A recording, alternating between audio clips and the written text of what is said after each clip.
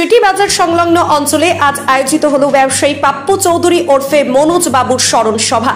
গত জানুয়ারিতে পরলোক গমন করেন সিটি বাজার ও মন্ডল বাজারের প্রতিষ্ঠিত এই ব্যবসায়ী। আজকে স্মরণ সভায় উপস্থিত ছিলেন পাপ্পু চৌধুরীদের পরিবারের সদস্যরা ও মন্ডল বাজার সিটি বাজারের একাধিক ব্যবসায়িকগণ। বাপি চৌধুরী শুধু একজন ব্যবসায়ী ছিলেন না, তিনি ছিলেন কাঁচরাপাড়ার বিভিন্ন অঞ্চলের সমাজের সেবকও সমাজের পিছিয়ে পড়া মানুষদের জন্য তিনি সব সময় এগিয়ে আসতেন। তিনি হঠাৎ করে এইভাবে পরলোক গমন করায় শোকাহত এলাকার ব্যবসায়ীরা।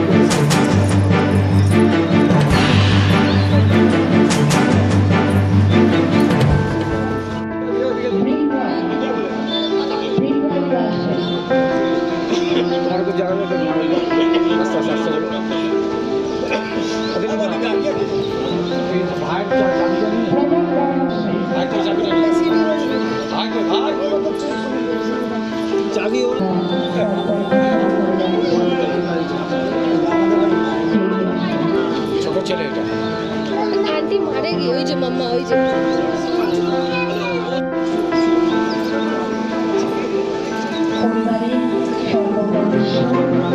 এই স্মরণ সভা ও পাপ্পু চৌধুরীর বিষয়ে কি জানাচ্ছেন তার বন্ধু ও ব্যবসায়ীরা? দেখুন। কি বলব বলুন? তো কষ্টকর বিষয় হয়ে দাঁড়িয়েছে এটা।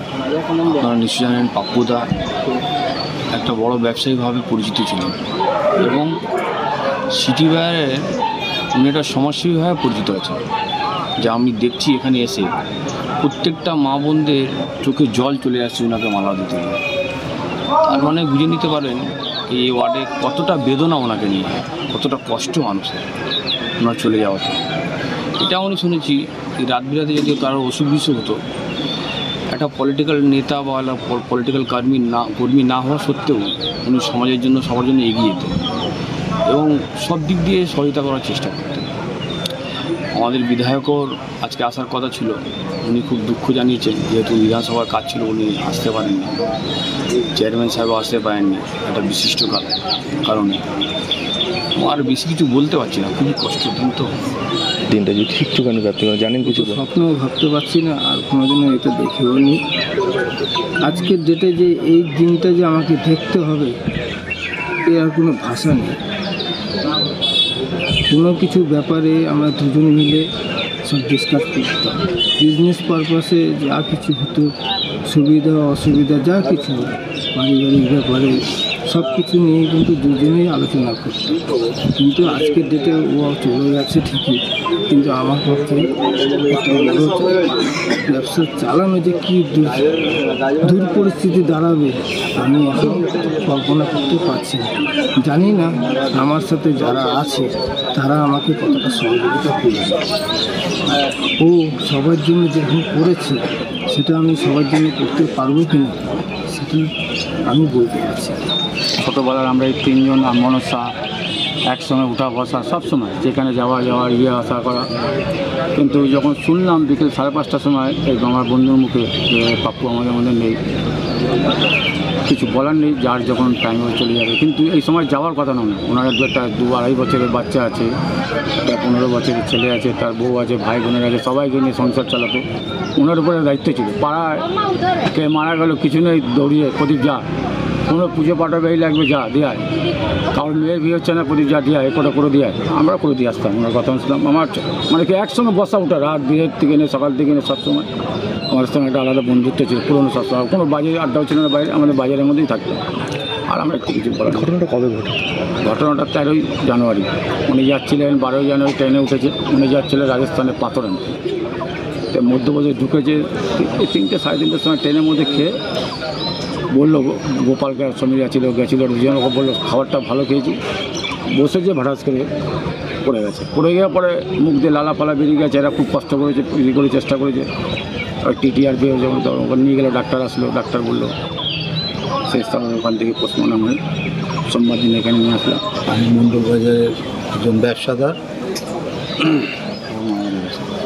এবং আজকে যার উদ্দেশ্য বলা, সেও মণ্ডল বাজারের একজন ব্যবসাদার এবং সিটি বাজারেরও। আজকে পাপ্পুর সম্বন্ধে কিছু বলা আমাদের কাছে ভাষা নেই, তাও বলছি। সে ছোটোর থেকে তার সাথে আমার একটা বন্ধুত্ব, আমরা একসঙ্গে খেলাধুলা করে এক জায়গায় দীর্ঘ যাবৎ ব্যবসা করে আজকের ডেটে ও শুধু বড় ব্যবসাদার ছিল না, ও বড় মনের মানুষ ছিল একজন। প্রত্যেকের সুবিধা অসুবিধা পাশে দাঁড়াতো। কিন্তু দুর্ভাগ্য নিয়তির কাছে আমাদের সবাইকে হারতে হয়, আমরাও হেরেছি। আজকে এই বয়সে সে আজকে আমাদেরকে ছড়ে চলে গেল। আমরা প্রত্যেকটা বন্ধনে বন্ধু বান্ধব, ব্যবসাদার প্রত্যেকে এই ব্যাপারে শোকা হতো। হয়তো আমরা এই ক্ষতিপূরণ আমরা কোনোভাবে মেটাতে পারব না,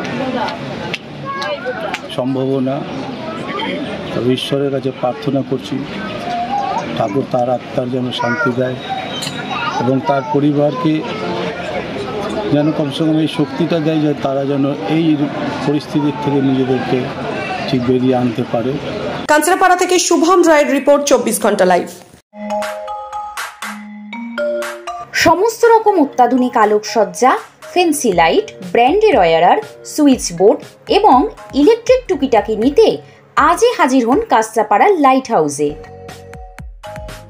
আমাদের এখানে ইউনিক আইটেম বেশি আমরা প্রেফার করছি। কলকাতাতে যে জিনিস কিনবেন বা শিলিগুড়িতে যে, আসানসোলে যে জিনিস কিনবেন, তার থেকে বেটার কোয়ালিটি তার থেকে কম দাম, আমরা এখানে ম্যানুফ্যাকচারিং ইউনিট আছে, ওখান থেকে আমরা মাল ডাইরেক্ট এখানে আনছি। যারা আসবেন এই চ্যানেলের মাধ্যম দিয়ে শেয়ার যদি করেন হ্যাঁ তাদেরকে আমরা একটা একটা ডিসকাউন্ট দিব। বাহ, তাহলে তো দারুণ ব্যাপার। তাহলে এখনই এই ভিডিওটি শেয়ার করুন আর লাভ নিন। কাছলাপাড়া এর পাশেই হচ্ছে নৈনী মিষ্টান্ন ভান্ডার আর রাজস্বিক রেস্টুরেন্ট আছে তার ঠিক উল্টো দিকে আমাদের শপটা রয়েছে। নাইনটি এইট কেজিআর পথ কাছলাপাড়া। বিশ্বাস কম্পিউটারের ঠিক উপরে লাইট হাউস